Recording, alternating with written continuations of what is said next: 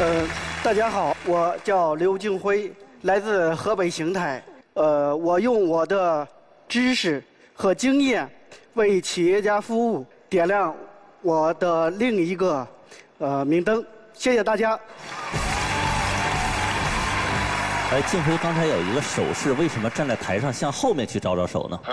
哦，因为咱那边有一些那个我的导演，还有咱们那个摄制组，啊，我也也意思说感谢他们辛勤的付出。啊，我以为你是想向过往的话告别呢，但是这个寓意特别好。啊，谢谢库瓦勒特老师。对，这代表，别走啊，我一会儿还回来。哦，原来如此。三十九了，啊，对对对，你要面试的岗位是？呃，产品运营和市场执行来的。你以前开了一家茶店，啊，对对对，效益怎么样？抛弃工资，这个效益还可以。那为什么不干了？因为，嗯、家属他是在南方需要我过去，那怎么又要走了呢？北方这边有一些这个，嗯、这个调整嘛，所以说我又回来了。那你今天面试工作是要去妻子的那个城市吗？石家庄或者是外地有些，呃，工作，呃，有可能的话也会考虑。最好在石家庄。对对对。你可够紧张的呀，哥们儿！啊，你咋那么紧张啊？你放轻松，做坏事了放？轻松。啊？放松点吧，因为你面试的不是销售岗位嘛，你这样就是都说不出话，我们都着急啊。毕竟是三十九岁了，做销售的人，好不好？别表现得太紧张。我问一下，你在家里，你跟你的妻子谁说了算？我们商量着来。真的？啊。我怎么感觉是你老婆说了算呢？但是都说啊，这个东西到底是谁做主，谁做辅？呃，我感觉我我一般的话，大事我来说，好吧？嗯管孩子吗？管孩子教育谁说了算？我。你啊？为什么说的你们家是虎妈猫爸呢？呃，不是，他就是他的性格比较外向一点，是这。但是我可能说，你你说一般的话，家里边定一些事，一般的话，可能说大事，基本上还是。你管啥大事吗？你说你管啥大事？没有。钱你管吗？赚钱。钱你管不管？钱他管，钱他管。钱他管啊，对。赚钱你管啊，对对对。花钱谁管？花钱他管。那你管啥呢？你只管挣钱。就是挣钱嘛，啊。所以你知道他谨小慎微是从何而来的吧？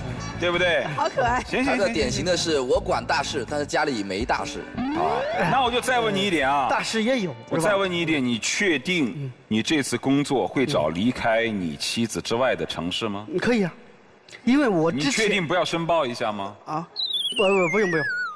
真真的不用啊？对，因为我我之前那个那份工作，我有将近十年时间啊，我都是那个全国各地，我基本上跑了二十七个省自治区，跑了将近二百二十二十多个地级区，还有一千多个县，基本上我对咱们中国的相当于除了西北那儿我没去过，其他地方我都去过。你不想你老婆跑那么远？那为了工作嘛，我们只要是目标一样一致就可以。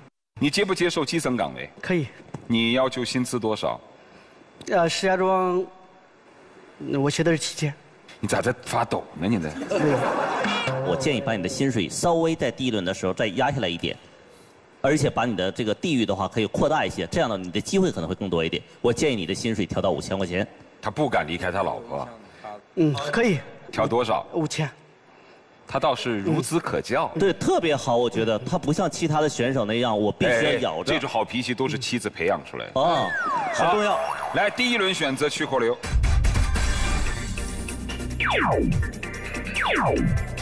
还有三盏灯。你这种羞涩的人能卖出东西吗？那有了目标之后呢，肯定也也会把东西卖出去。你卖一个，我看看。